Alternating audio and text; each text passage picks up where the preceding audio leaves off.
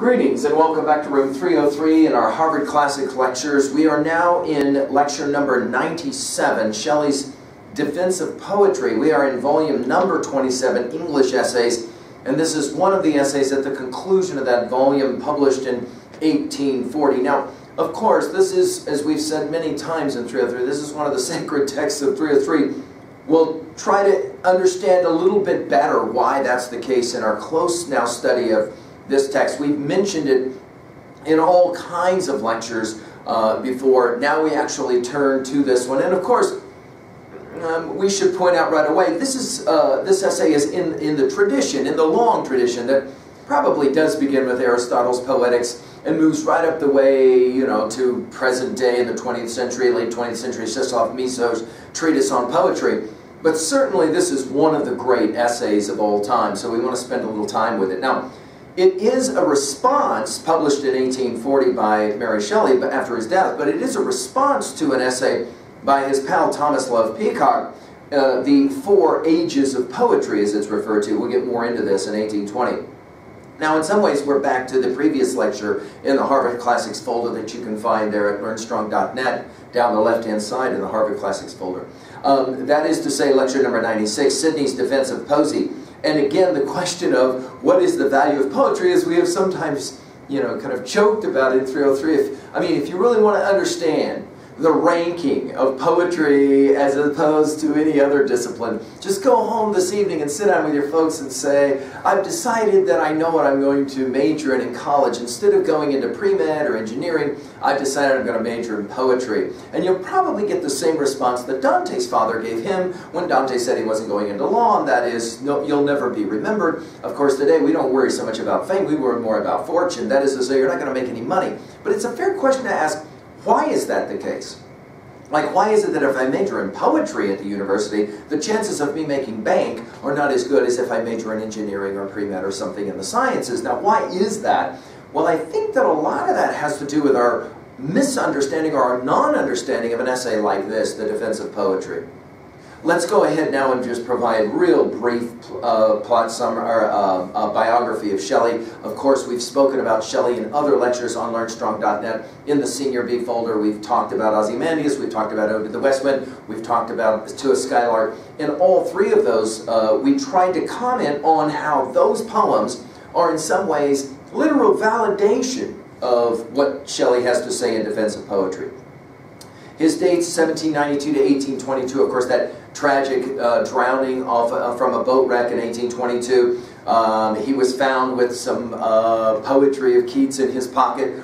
There is some notion that because of the quarantine, he was he was burned on the uh, beach there, and Mary Shelley supposedly reached into his chest and brought out his his heart and kept it for the rest of her life. Um, whether that kind of stuff is true or not, we love to tell stories like that, right? Because they're they're awfully fun. He was a, what we would call, really by today, a philosophic poet. And we're going to see some of that in our, in our study and our close reading of, of this essay. Um, he was, without question, a radical um, in almost all ways, certainly radical in his, in his personal choices, his sexual choices, obviously a radical in terms of the work that he did poetically. It's interesting that um, he uh, he's not he's not well known in his lifetime. I mean, we've got that famous story in 1816 when he and Mary Wollstonecraft, who will become later Mary Shelley, the, the, the author of Frankenstein, of course, ends up with Lord Byron in Geneva on the lake, and they're having all kinds of crazy stuff going on. And of course, she says that she kind of invented the idea of her, of her novel Frankenstein from that time. His influence, though, Shelley's influence, is really impressive. I mean, everybody from Tolstoy to Thoreau and civil disobedience and Marx, of course, had, had influences on Gandhi and MLK as well. From the political side, from the poetic side, I mean, his, his influence is prodigious. After his death, very much like his pal Keats, after his death, all kinds of people are going to jump on board. We, we can think just of, of uh, Yeats. And um, I've always argued, and, and I'll even try and make the argument here in this lecture, that uh, T.S. Eliot was influenced by, by Shelley, and especially by this defense of poetry. Um, in many ways, um, Eliot spent his life to argue against much of what's in uh, defense of poetry, and yet at the same time, I think he was very influenced. I've got a few lines that I'm going to try and share with you, uh, you guys, to show you that. Well, let's talk a little bit more about background information. Like we said, in 1920, Peacock's um, um, article, The Four Ages of Poetry, argued ostensibly that poetry had had reached its nadir and was and was kind of useless because we're now in a modern age, the age of science, which is of course why if you go home and say I'm going to major in poetry, your folks will say something like poetry is fine, you know, you can write poetry on the side, but let's get a real degree and a real job, right? Um, Shelley uh, actually said that that the the essay. Um, he said about the essay that it was clever, but he said he, he, he thought it was false. And then to Peacock he wrote, um, Your anathemas against poetry, I'm not quoting, itself excited me to a, this sounds very much like Shelley, a sacred rage. I had the greatest possible desire to break a lance with you in honor of my mistress Urania, of course, the, the muse, right? A defense of poetry, of course, published ultimately. Um, now, John Hunt did some editing after his death, and Shelley's uh, wife, Mary Shelley, in 1840, published this one in Essays, Letters from Abroad, Translations and Fragments. Now, let's just give a general overview of the arguments that Shelley will make in defense of poetry, okay? Um, first of all, we should point out that Shelley is, of course, part of the second generation romantic poets. We've given full lectures on this at learnstrong.net in the Senior B folder and he's part of that uh, Byron to precede him and then Keats to follow him in the order in which we discuss them in those lectures. Shelley will begin in defense of poetry commenting on ethical science and the ways in which it arranges the elements which poetry has created. Now, Shelley, like Keats, was a firm believer in the idea that the most important thing in our life is poetry, and the most important people in the history of civilization are poets. Now, this might seem a radical idea until you expand the definition of poetry to include all kinds of things, for example, movies, songs, video games, videos themselves, pretty much anything that you might want to watch on YouTube for Shelley could qualify, could qualify as a poem. And poets are uh, the ones who make that stuff. In other words, for Shelley, the greatest creative artists he will simply call poets and their product and the work that will then in fact inform the world poetry. Now when you, when you become so inclusive in your thinking about the arts, then all of a sudden Shelley's idea is not so radical at all. Okay? Now, in defense of poetry, he's going to argue that the, first of all, invention of language is huge, right? It reveals, obviously, there's this need humans have to reproduce, you know, ordered and rhythmic uh, understandings that lead ultimately to a certain kind of harmony and unity. I mean, think about it. We've said this before. If you walk out of 303 and you hear some loud music playing, for example, in the commons area, isn't it fascinating that you naturally are attracted to go to it? For example, in the mall, those wretched things that Shelley would have had serious problems with, as we've commented about Wordsworth, and the world is too much with us. But if you go to a mall, if you if you hear music somewhere or rhythm of any kind, notice how you and pretty much everybody else has a natural tendency to say, dude, what is that sound? And then you start following it. Isn't that fascinating? In other words, Shelley says it is natural for us from the time we're almost born, maybe even before we're born. We love issues of rhythm because it provides us with some sense of harmony. And of course, harmony is unity, and this, of course, delights us, right? And instinctively, it leads to certain kinds of creative activities. He says it in this way every man in the infancy of art observes an order which approximates more or less closely to that from which highest delight results, end quote. He'll call this faculty of approximation that allows, for example, those of us who pay attention to our experiences um, to enjoy, quote, he says, a relation between the highest pleasure and its causes, right? And he will go on to say that these poets who possess this faculty, right, um, uh, have it in excess. And it's their job, it's their pleasure to communicate these experiences to the community, right? Now, he doesn't claim necessarily that language is poetry, right? Uh, language is necessarily the medium of poetry, but to have to be, right? The creation of a language um, to certain kinds of understanding of poetics, order, unity, harmony, things like this.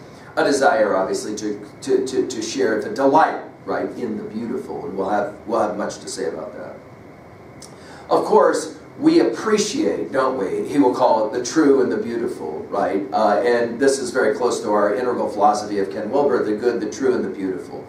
Um, and this has a powerful social aspect. In other words, he will argue that our notions of what's right and what's wrong within a culture, what's valued and what's not valued in a culture, and what should be valued, is all contingent on our poets and their poetry, their production. Uh, in some ways, when we say in 303 that we are the stories we tell, the stories we retell, the stories we accept, and of course the stories that we decide to reject, either individually or as a culture, really we're speaking um, Shelley language from the defense of poetry. It, I call it, I say stories, but obviously easily we could call them poems, right?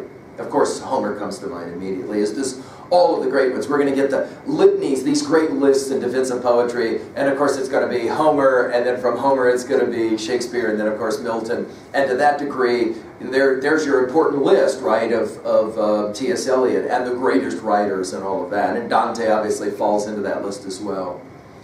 Now, of course, um, the poetry will get directly involved, uh, for Shelley, with social uh, activities and, and, and the mores within a, within a society.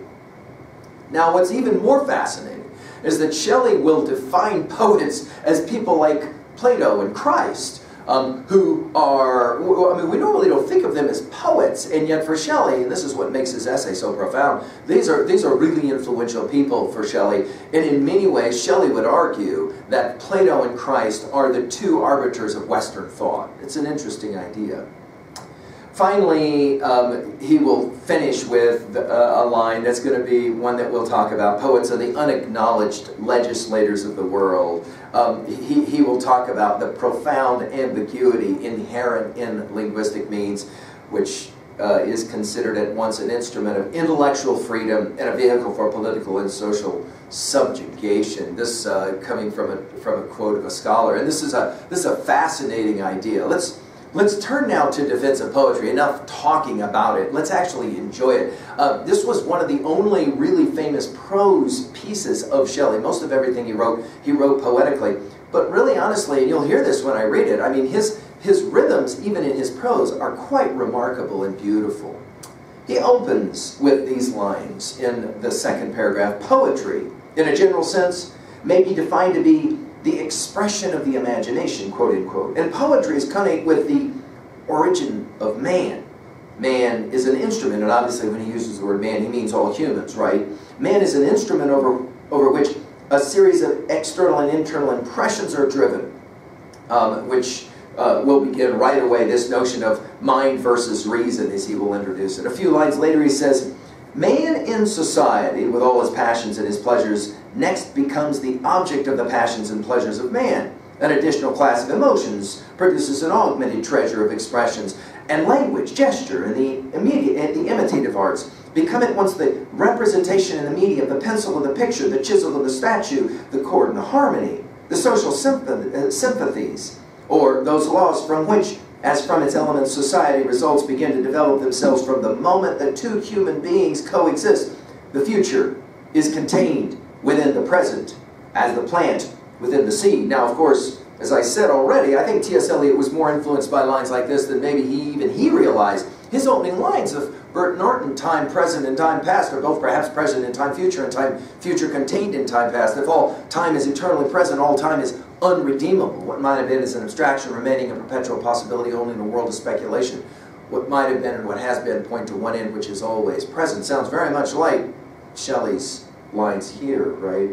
And he says equality, diversity, unity. I mean, these are the these are the words that, of course, from Shelley on will become really kind of what we think of when we think about progressive ideas that find their way into po uh, political discourse, still is the case today, right?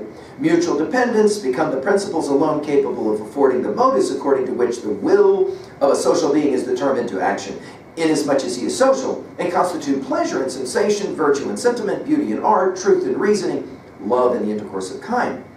Hence, men, ever in the infancy of society, observe a certain order in their words and actions distinct from that of the objects and the impressions represented by them, all expression being subject to the laws of that from which it proceeds. And uh, of course, I, would, I, I, I, could read all of this, and I would love to, but I don't have time, so I'm going to have to skip now, and we keep going into the next paragraph. He says it this way Those in whom it exists in excess are poets, that is to say, pleasure, highest pleasure, right? In the most universal sense of the word, and the pleasure resulting from the manner in which they express the influence of society or nature upon their own minds communicates itself to others and gathers a sort of reduplication from that community. Their language is vitally metaphorical. That is to say, one thing representing or compared to another thing. That is, it marks the before unapprehended relations of things and perpetuates their apprehension until the words which represent them become, through time, signs for portions or classes of thoughts instead of pictures of integral thoughts. And we love, of course, that he uses the word integral. No question, he was an integral thinker, a synthetic thinker all the way through his life. A few lines later, he, by the way, mentions several times uh, Lord Bacon as being uh, one of his great favorite poets. And this is weird because we normally don't think the day of Bacon as poet. We think of him as philosopher, we think of him as scientist. Of course, we've given lectures on a lot of Lord Bacon stuff as well as, uh, as of studies in particular. But here Shelley will say, no, no, no, he's a poet. He will, he will say it this way just a few lines later. But poets are those who imagine and express this indestructible order are not only the authors of language and of music, of the dance and architecture, and the statuary and painting, they are the institutors of laws and the founders of civil society and the inventors of the arts of life and the teachers who draw into a certain propinquity with the beautiful and the true, that partial apprehension of the agencies of the invisible world, which is called religion. So in other words, it's a big tent for Shelley one of the reasons that we love him as an integral thinker is that, you know, he will argue, along with a philosopher like Ken Wilber, no human mind is capable of 100% error. And to that degree, we're going to bring a lot of people under the tent for Shelley, talking about the power of the poetic vision. He will continue by talking about mirrors and clouds and the like, and to that degree sounding very much like Aristotelian views in poetics. But then he'll say it this way he's making distinctions between prose and poetry. And we, we, are familiar with that famous line, right, of Czesław Miłosz that we love in 303 at the very beginning of Treatise on Poetry, where he talks about one good poetic line can carry a whole wagon full or a whole cart full of prose. But we've got an interesting idea here from Shelley. Watch this. He, he says, the distinction between poets and prose writers is a vulgar error. The distinction between philosophers and poets has been anticipated. Plato was essentially a poet the truth and splendor of his, image, of his imagery and the melody of his language are the most intense that it is possible to conceive. Go back and look at our lectures on Plato in, at learnstrong.net, and we make a very similar argument. Of course, the irony is that in the supposed ideal republic in, in the republic that Plato decides to create, he would be the poet that's first jettisoned or thrown out, right?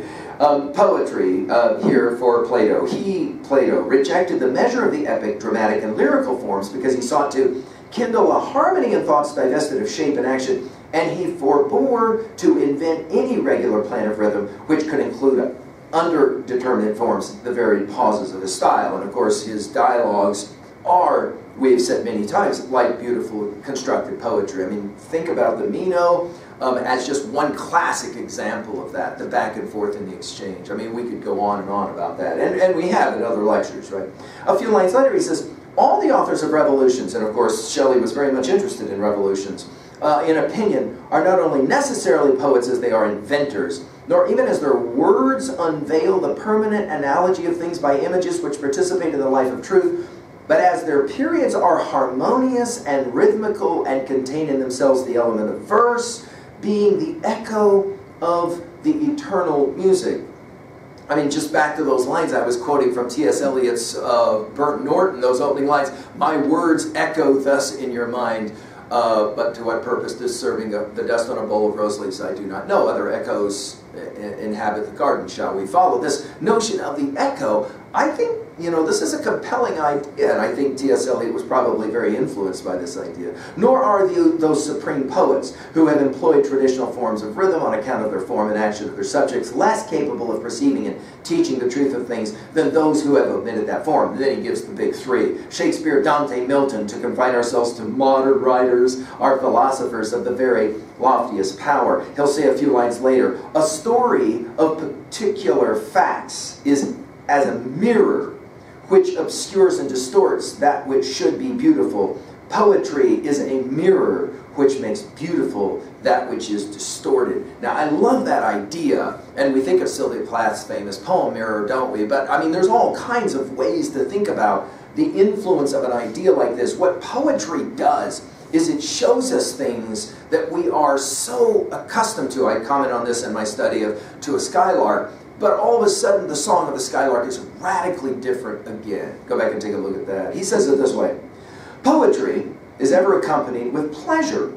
Now, I'll talk about a little bit later how sometimes pleasure also involves pain, as we saw in our study of To a, to a Skylark. All spirits on which it falls open themselves to receive the wisdom which is mingled with its delight. In the infancy of the world, neither poets themselves nor their auditors are fully aware of the excellence of poetry, for it acts in divine and unapprehended manner beyond and above consciousness, and it's reserved for future generations to contemplate and measure the mighty cause and effect and all the strength and splendor of their union. Even in modern times, it's fascinating. He keeps using this term modern. You'll remember that the subtitle of Mary Shelley's Frankenstein was the modern Prometheus. This use of the word modern, Shelley was very, uh, I mean, he was very much tuned into the idea that he was living in a very modern time, of course, both for good as well as for ill, right, as the Industrial Revolution. Even in modern times, no living poet ever arrived at the fullness of his fame, certainly Shelley did not. The jury which sits in judgment upon a poet, belonging as he does to all time, must be composed of his peers. It must be impaneled by time from the selectest of the wise of many generations. A poet, and this is beautiful given what we know about Keats and his famous To a Nightingale, a poet is a nightingale who sits in darkness and sings to cheer its own solitude with sweet sounds. His auditors are as men entranced by the melody of an unforeseen musician, who feel that they are moved and soft.